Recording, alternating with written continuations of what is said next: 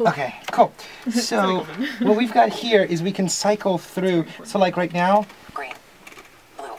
Intensity. so this is just intensity, right? So on intensity, you know, you get like kind of the brightness of everything, right?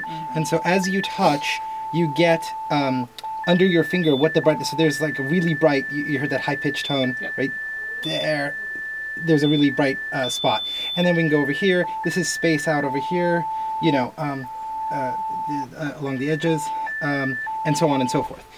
Uh, like right there, there's some space. So now we can go through the other sensors though. So, Blue. so here's like the amount of blue. So I only sonify the amount of blue, um, and so like there's some blue here. Now you have to keep in mind you're you're not necessarily going to see blue where I am because uh, it is the amount of blue component in the light. Right. Um, and, and obviously colors are made up of you know red, green, and blue in this Green. particular space. So here it is like for green. So it might sound a little bit different, and like actually in a way it does. There's a lot more constant amount of green here. Um, the mixes, and obviously Red. you can do it with red as well. Here it is for red. So like a lot of red right there, or at least something with a lot of red component. A lot of right there. There's a lot of red component. Um, but the mixes might be kind of interesting. So Green.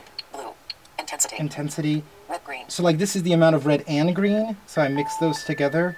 So you know there's like a lot of red and green right right there. Um, what I'm thinking of doing actually now that I'm actually just testing this for the first time is um, maybe uh, making the tone proportional to red green versus blue so you can get a better sense because I'm realizing right now you might get it might be kind of hard. But this is red blue here, so you know it's a different pattern again, and and then here is blue green, Green, or rather green blue, same same thing. So this is like the amount of green and blue, and you can tell like this image has a lot of like a lot of green blue right there because there was a lot of green when we when we did it over here, Green. Blue. and Red.